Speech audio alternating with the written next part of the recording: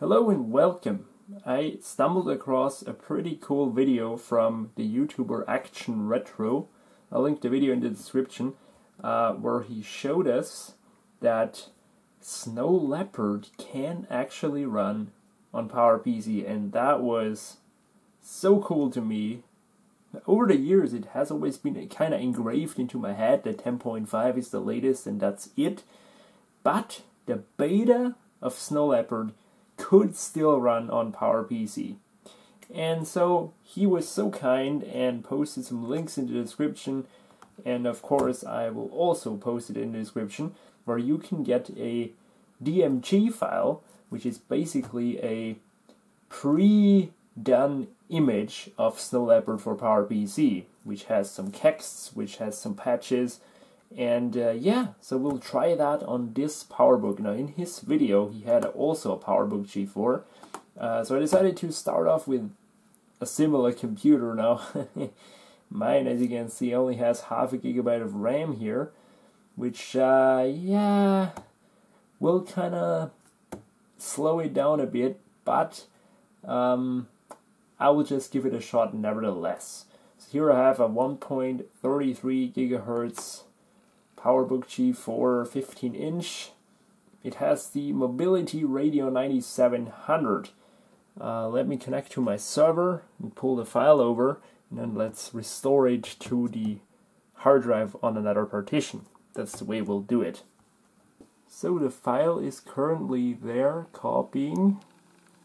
It's called PPCSL and so on. So that should be the PowerPC version of Snow Leopard. Can't believe how excited I am. That's uh, really exciting for me to see maybe 10.6 booting on this thing. Who would have imagined that?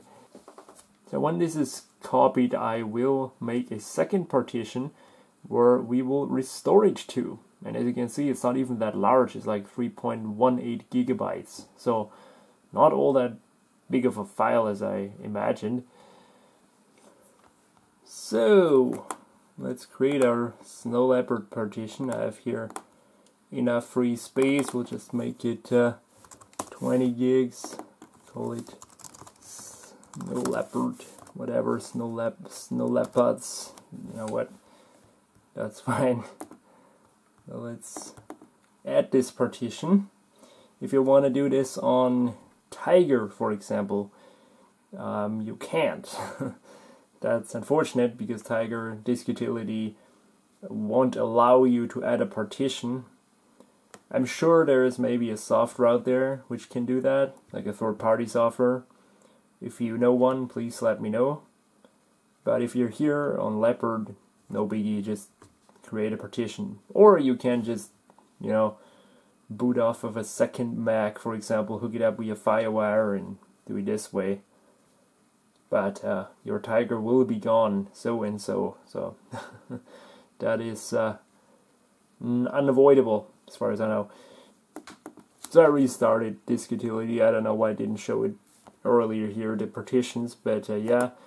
Anyway, I'll just do this scanning stuff again for good measure just to minimize problems. Okay, now, restore, source this, and damn, not this way around. Source here, and destination there, and we will erase the destination. That's what they told us that we should do. So let's do it. All right. And now it should be restoring the image to the hard drive. And yeah we'll just hopefully have success first of all with the restoration but also if uh, if it boots then. So yeah we'll see. So restoring went fine. Now it's checking it so that uh, it's fine I guess and then we can reboot it, hold down the option key and try to start up Snow Leopard. That will be so interesting. Oh my god. So, let's see if that really worked. Alright, let's just quickly eject my server there and shut it down and hopefully boot it up into 10.6. Oh, it renamed it to Untitled 1. Hmm, no biggie. As long as it works, should be fine.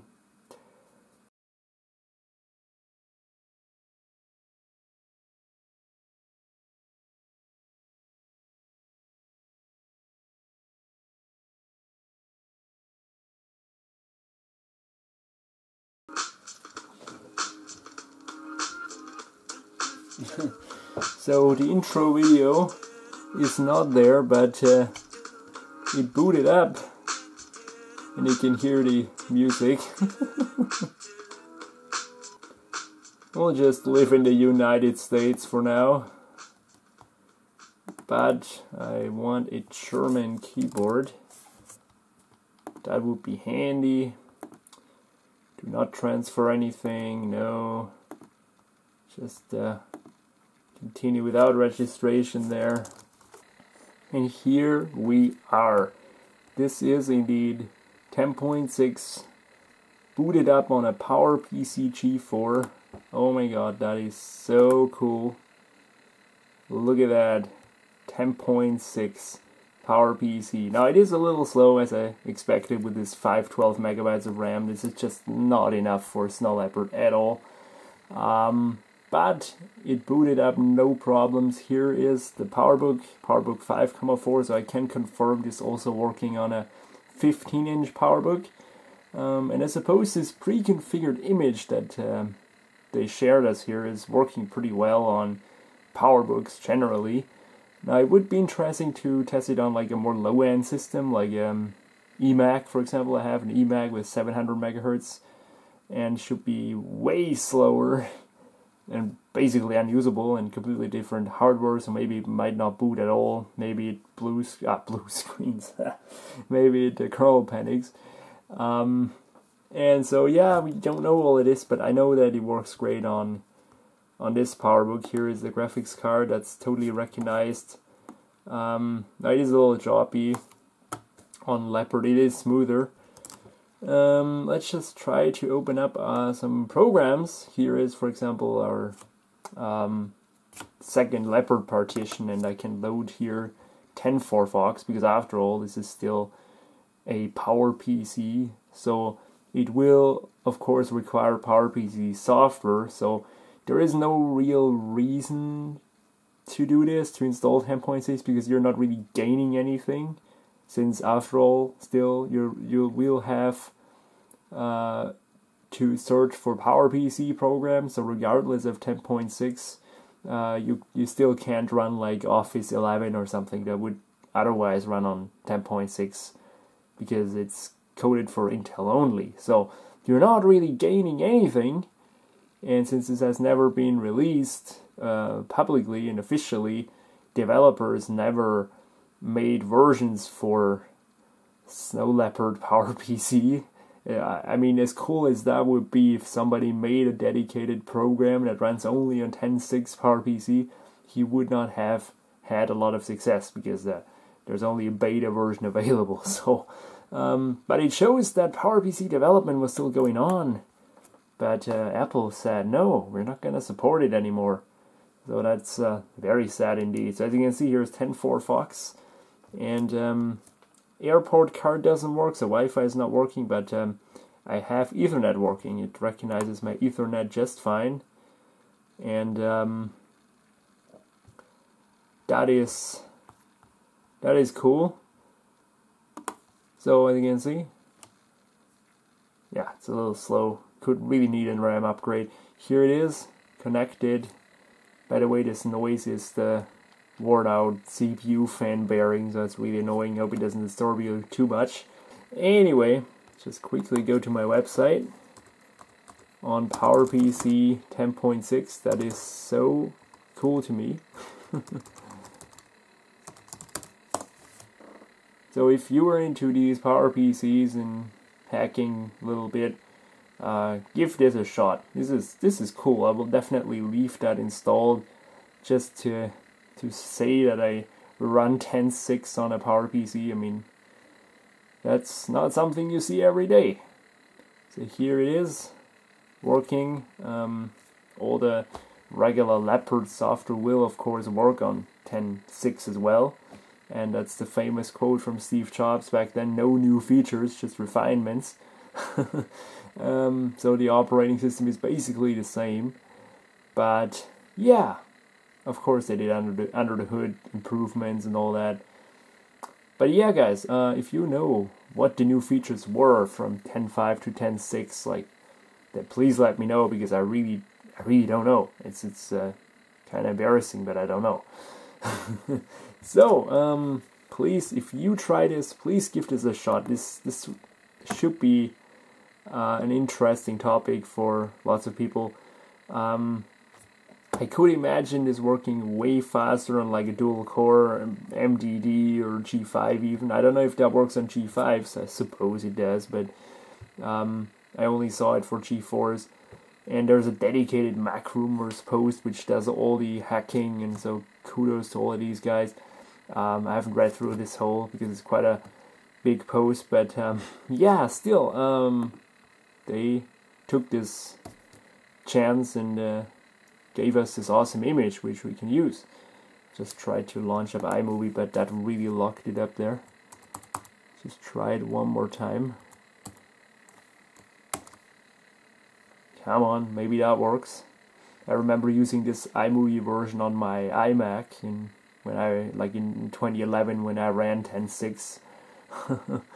but uh, I think it was even a newer version then back then. So yeah, I had the same icon and same layout, so maybe it was after all. I don't know. Can't recall now.